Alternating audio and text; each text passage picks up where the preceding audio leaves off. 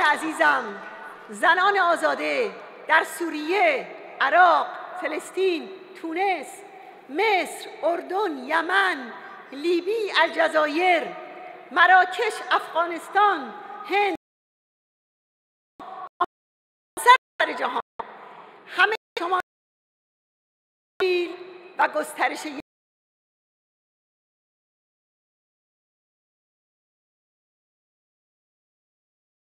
نام اسلام فرا می‌خوانم.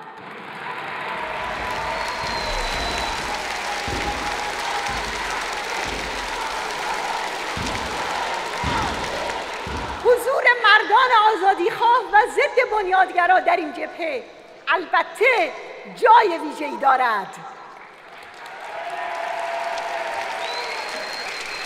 بله وقتی که وقتی که کشتار کودکان ما در پاکستان تحمل می شود وقتی که رو بودن دخترانمان در نیجریه و کشتار و آوارگی گسترده زنان کودکان در سوریه به یک واقعی معمولی وقتی که نسبت به اعدام ریحانه و پاشیدن اسید به صورت خواهران ما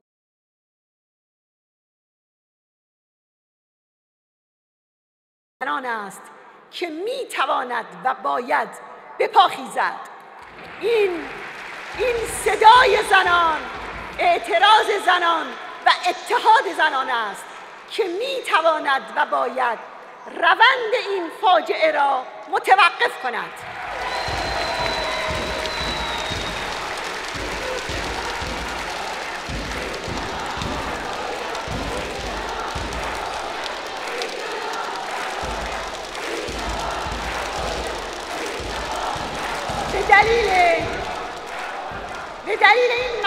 مسئولیت تاریخی تغییر این شرایط تعهد همه ماست و باید برای آن دست به کار شویم. برای برابری حقوق زنان در همه پهنه ها از حق انتخاب پوشش و لغو حجاب اجباری تا حق مشارکت برابر در رهبری سیاسی جامعه.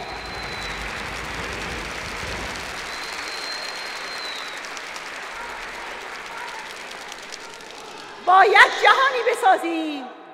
باید جهانی بسازیم بر اساس عدالت آزادی و برابری و آری. بنای چنین جهانی به دست زنان قطعا ممکن است.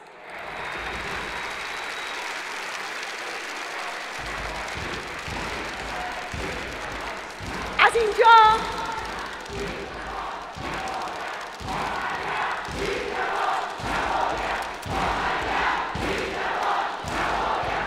اینجا به همه خواهرانم در سراسر ایران درود میفرستم.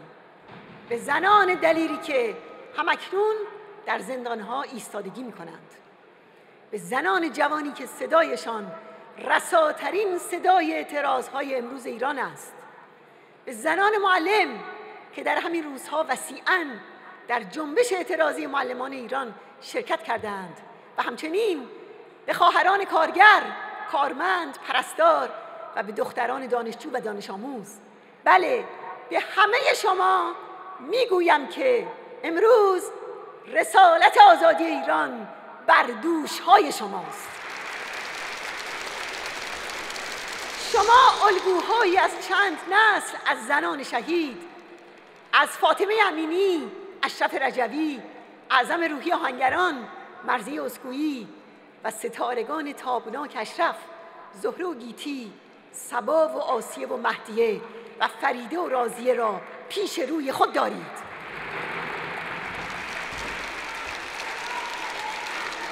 و همکنون مبارزه هزار زن قهرمان در شورای مرکزی مجاهدین به ویژه در رزمگاه لیبرتی روشنگر راه شما در نبرد با بنیادگرایی است.